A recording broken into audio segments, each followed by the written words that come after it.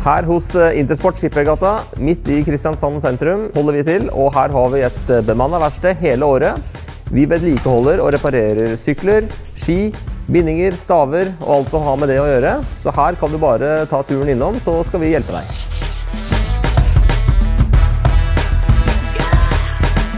Jeg heter Mona, og jeg driver systue sammen med Ingeborg. Og nå har vi drevet i 20 år. Vi fikser det meste av tøy. Vi skifter glidelåser og legger opp. Og syr inn og syr ut, både for private og for butikker.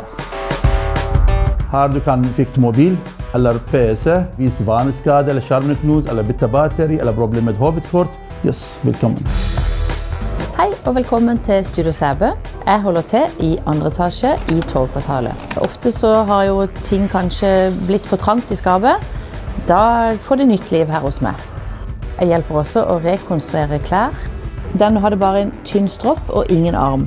Så nå har denne kjolen fått et helt nytt uttrykk og et helt nytt liv. Velkommen til Pedalen, Østre Strandgrade 12 her i Kvadraturen. Vi har sykkelbutikk og sykkelverksted. Her har vi eh, som vi tilbyr før vi tar full service på sykkelen. Hallo, velkommen til oss her i Markens gate 27, Mester Gullhodne. Vi er en familiebedrift som nå er femte generasjon gullsmedmester. Vi har en stor, flott butikk. Vi har eget verksted på huset. Og vi takserer smykker, og vi graverer.